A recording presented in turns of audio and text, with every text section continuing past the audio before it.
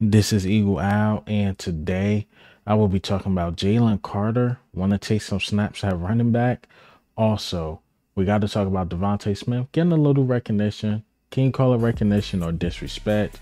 And lastly, Saquon Barkley fires back, take a little shot at the Giants. But let's get straight into it. All right, football is officially back. Eagles report to training camp today as I speak, and there won't be any like real practice today. Maybe press conference, I'm not really sure, but the real practice start Wednesday. Then you got Thursday they will practice, walkthroughs Friday, and then a practice Saturday. So it's just good to have the players there. It'll be something to talk about. We're going to the camp battles, you know, the linebacker battle between Nakobe Dean and Zack Baun. And then, you, of course, the cornerback battle is the most interesting one. You got the wide receiver three, of course. You tight end two is an underrated one. The right guard, of course, battle. But it's going to be interesting to watch and see what happens during training camp. But Jason Kelce actually had a message for the players reporting to training camp. But let me play this clip. Nothing in the world can take the place of persistence. Talent will not. Press on has solved and always will solve the problems of the human race. I was a walk on coming out of high school. They told me I wasn't good enough.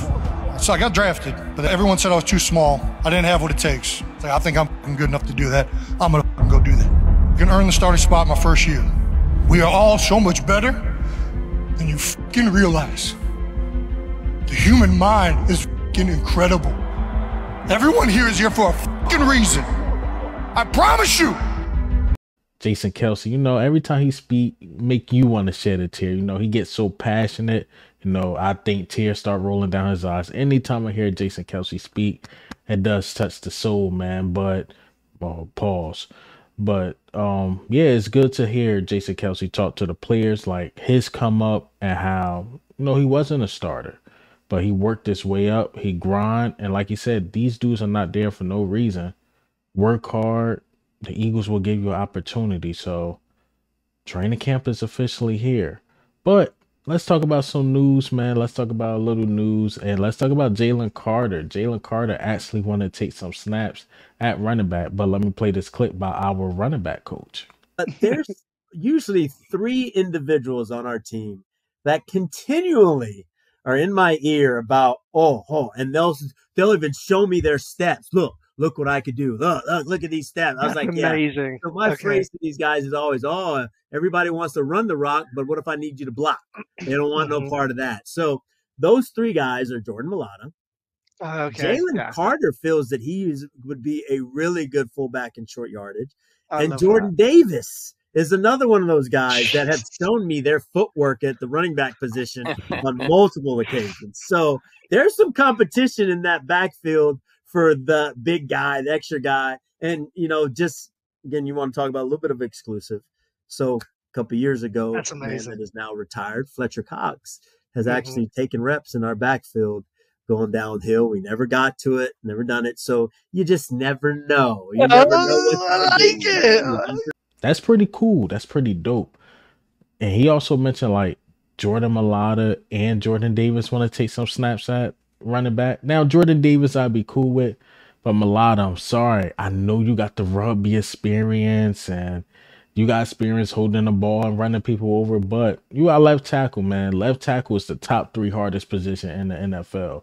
Corner, quarterback, left tackle. However you want to mix it up, those are the hardest positions to play and we can't afford to have our left tackle possibly get hurt trying to do running back stuff. But it is fun to see that these guys are mentioning this stuff because we haven't had a game where as though we could do that stuff. Like we had a game where Lane Johnson caught a touchdown, or we would bring in Slay as a wide receiver. Like have fun with the playbook. Last year, none of that happened. But I would love to see Jalen Carter at the goal line, hand it all to him, or do one of the play action passes, do a trick play. But we do those when we're having fun and when we're up by a lot of points. But uh, unfortunately, last year we couldn't do any of those games. Every game was such a nail biter.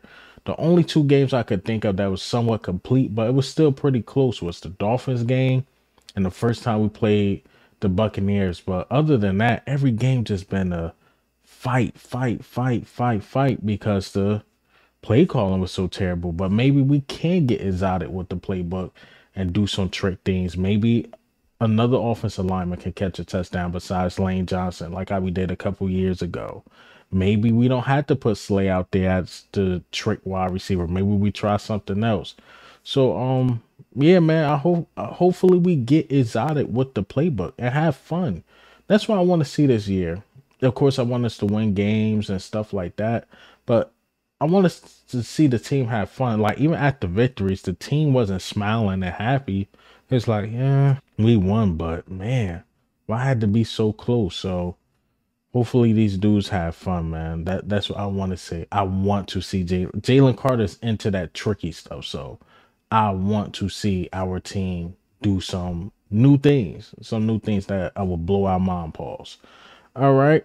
So let's talk about Saquon Barkley. Saquon Barkley spoke about the clips and stuff that have been coming out by Hard Knocks. And there was one particular clip where uh Joe, that's why we just call him Joe West, called Saquon. And remember how he was like, he Saquon to come back to him if he get an offer and how he's a giant for life, this and that. And Isaiah Rodgers, I was watching his interview with Simone Stanley, he actually talked about Saquon just a little bit. And he said when he seen that part, him knowing Saquon now, he knew he was out. But it's funny that Saquon said the same thing in this clip I'm about to play. So let me play this clip. It was over after that phone call, in my opinion. As soon as he said to go hit the market, I never in my heart truly believed that they were going to match it or they only wanted me for a lower price. So like at no matter what, I probably wasn't going to go back. You see, he said he knew he was out. He knew the Giants wasn't going to match the Eagles' offer. He just knew it. And Hard Knocks clickbaited us and made it look like they said that, but they really did not say that, that they matched his offer. They never did.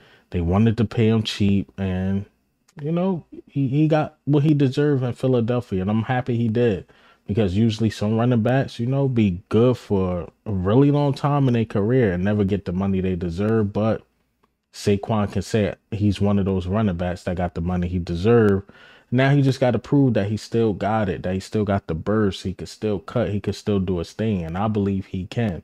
But that that was definitely a fire back and a shot back at the Giants, letting them know, like, yo, I, I knew y'all was on some BS. I was gonna be out. I was gonna be out. So shout out to Saquon Barkley, man, for keeping it a buck, keeping it a beam.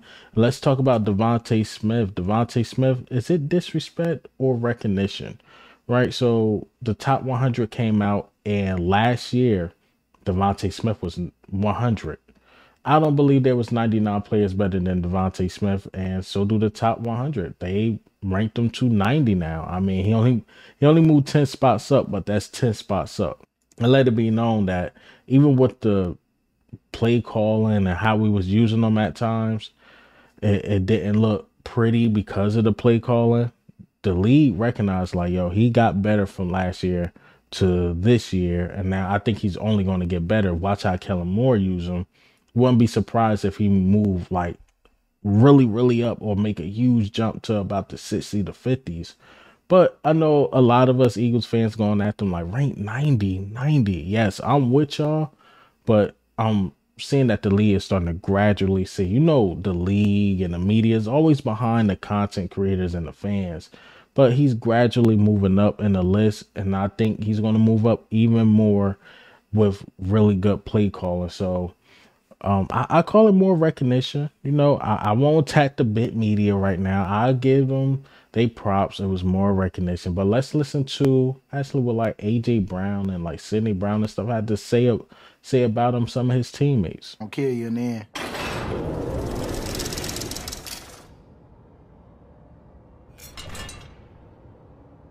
I would say every time we play Washington is my favorite time to watch DeVonta play. DeVonta Smith, wide open. Because he's going to make some acrobatic catch. Down the far side of the field, leaping reception. He's not scared to go across the middle. You see him take his, bounce right back up. He goes up, and you're like, man, did he catch that? And the DB kind of drags him back, and I was in disbelief that he caught the ball it's crazy some of the plays that he makes and you know his concentration to bring the ball in.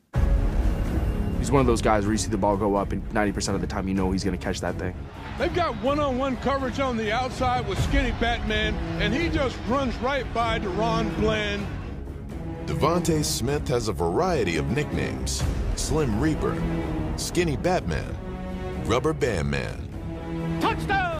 You see, like they appreciate DeVonta Smith. They know what DeVonta Smith bring into this lead, what he do, and I think it's underrated how he catch the ball over guys. I know we talk about his route running, but his jump ball, I mean, man, he's up there. So DeVonta Smith get that muscle right, easily top five receiver in this league. We have basically two receivers in the top five.